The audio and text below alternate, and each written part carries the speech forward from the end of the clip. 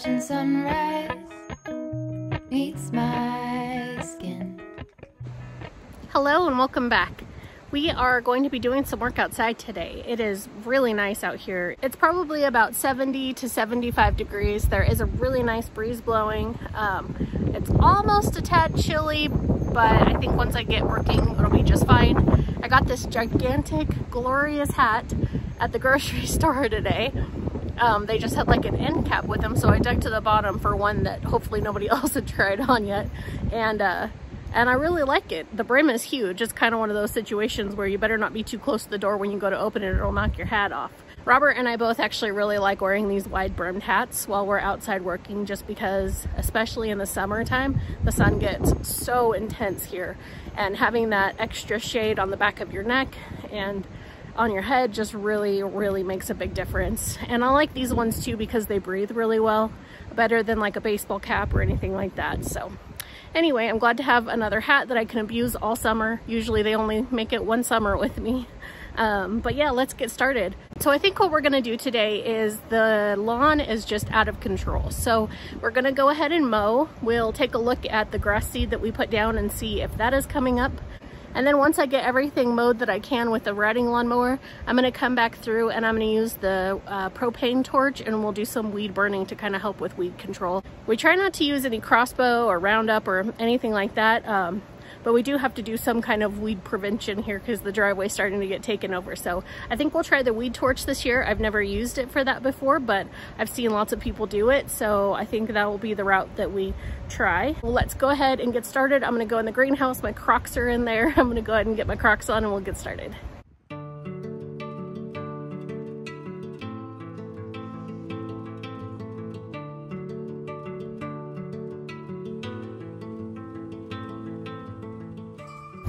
The grass seed that we put down right in front of the shop, it's just as you come onto the property.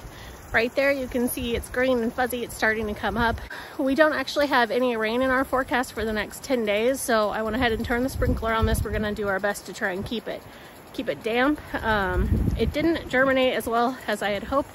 Hopefully it'll fill in a little bit more um, if we keep that moist, but it'll be difficult not having any rain in the forecast to, to keep this damp. So, but we'll do our best.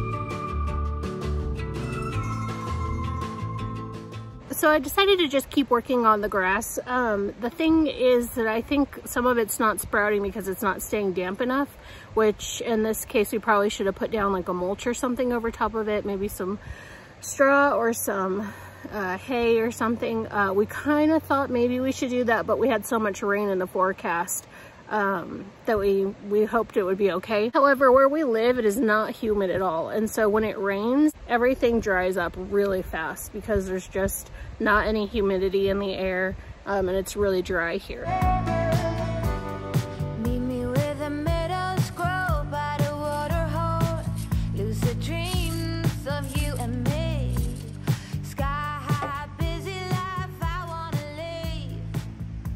We did get quite a bit sprouted, but I'm gonna go ahead and now put down a little bit more seed. And then what I did was I used the lawnmower. We let the grass get really tall, so I used the lawnmower and kind of mowed in a circle until I had all the clippings kind of in one area. Um, and I've got all those clippings picked up and I'm gonna actually just use the grass clippings as a mulch. Hopefully putting down the grass seed, keeping that nice and damp. I'll be watering it every day for the next couple weeks. Um, and then also having some grass clipping mulch over the top of it. Hopefully that'll get us sprouting a little bit better. So I'm gonna go ahead and get working on that. I have my bucket, my tractor bucket is full of grass clippings um, and I have some seed in my spreader here. So I'm gonna get started doing that. Oh,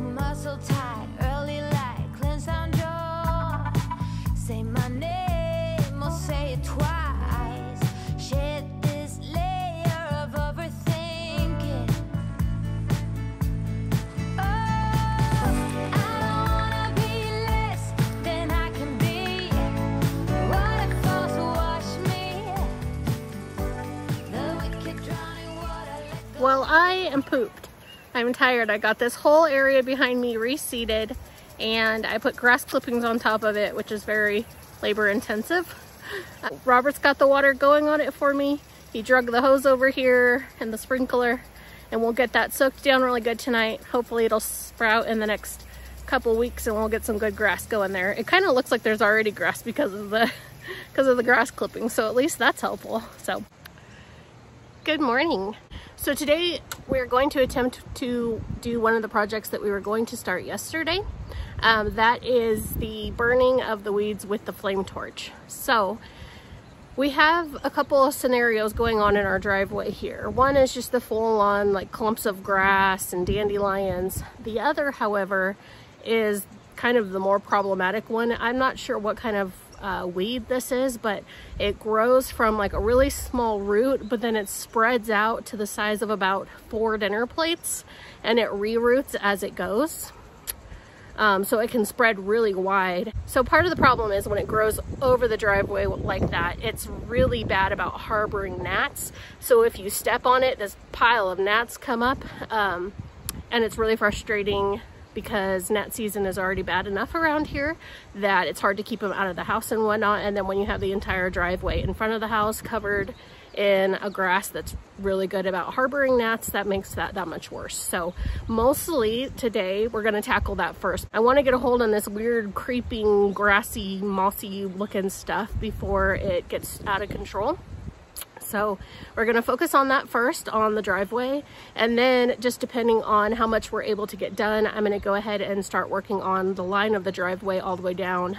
So you can see here behind me, the grass is kind of growing into the driveway and I just wanna push that back a little bit with the weed burner and keep it from taking over the driveway, um, hopefully for the rest of the summer. One upside to where we live is because we don't get much rain, mostly what grows will be what gets watered. So I'm thinking if I get all of the grasses and weeds killed off the driveway early, then hopefully they'll stay under control for the rest of the summer. Like I mentioned before yesterday, I've never used the flame torch for weed control, but I've seen lots of other people do it. So we're gonna give it a shot and see how it works. So enough talking, let's get started.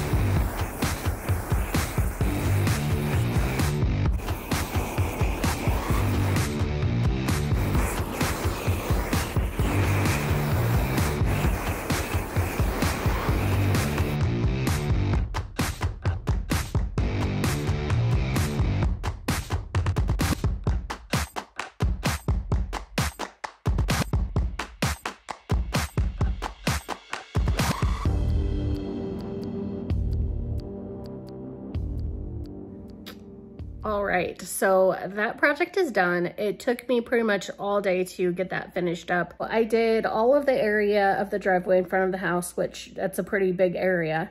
Um, and then I went up the driveway. I went just past the first access to the pole barn. So like I said, it's really time consuming. It does work really well. I'm hoping the weeds will not come back, but I am done with that project for now. I might do some more later on, but um, other projects have my attention at the moment. So anyway, I think that's gonna do it for this video. Thank you so much for hanging out with me. If you haven't already, please consider subscribing. We'd love to have you join us. Take care and we'll see you soon.